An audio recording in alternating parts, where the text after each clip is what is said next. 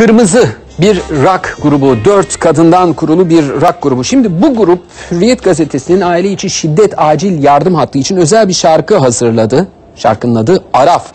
Ee, şarkının grup tarafından hazırlanan bu klibinde e, aile içi şiddet acil yardım hattının 100 bin SMS kampanyasına armağan edildi. Türkiye'de 2007'den bu yana 7 gün 24 saat nöbette olan aile içi şiddet acil yardım hattı şimdi şiddete karşı duran 100 bin kişi arıyor yani.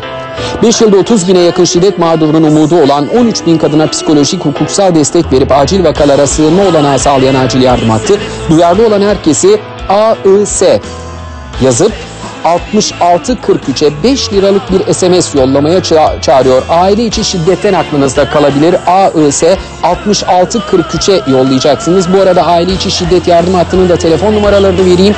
0212 656 96 96 ya da 0549 656 96 96. Şimdi sizi biraz şarkıyla baş başa bırakıyoruz ve gece gündüze de bu şarkıyla veda ediyoruz.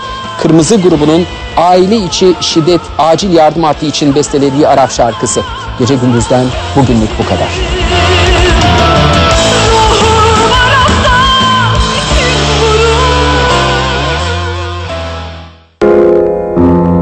İş Sanat gece gündüzü sundu.